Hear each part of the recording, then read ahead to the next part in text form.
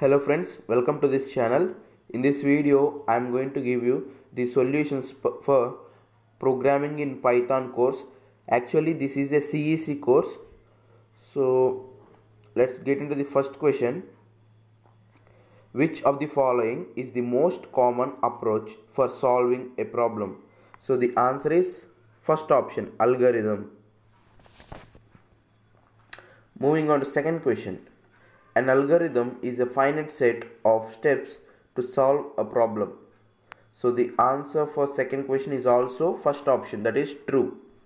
An algorithm is a finite set of steps to solve a problem.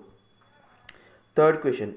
What is the first step in the experimental approach of solving a problem? For third question the answer is option C identify here we have IDEAL in which I represents identify. So first step is identify. Fourth question. A program is a set of instructions. So it is true. That is first option. Fifth question.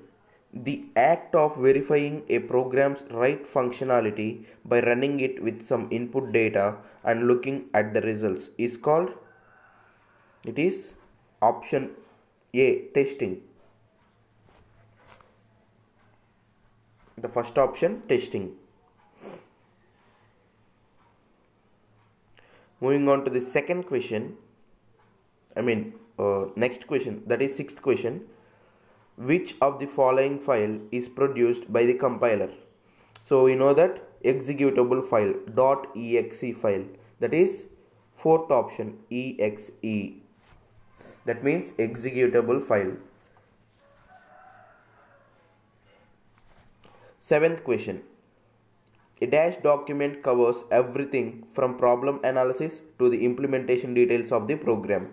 So the answer for seventh question is third option that is technical a technical document.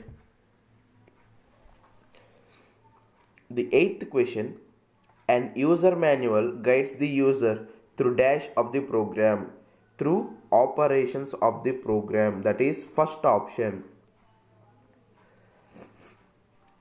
And ninth question if the program runs but the results are not correct then it is called it is called a logical error. That is option B. Because if it is a syntax error then the program does not run itself. If it is a logical error program runs but desired output is not achieved. That means results are not correct. So it is logical error. And moving on to the final question of this assignment. 10th question.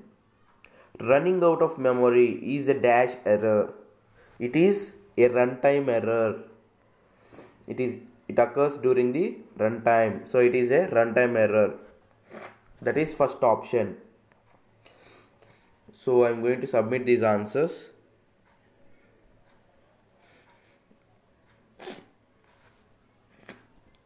So friends these are the uh, solutions regarding week 1 assignment of programming in python. Hope you find this video helpful if you feel the same please subscribe our channel like this video and sub, uh, share to your friends. If you have any doubts please uh, ask in the comment section. So I'll, I'll try to reply to those valid queries.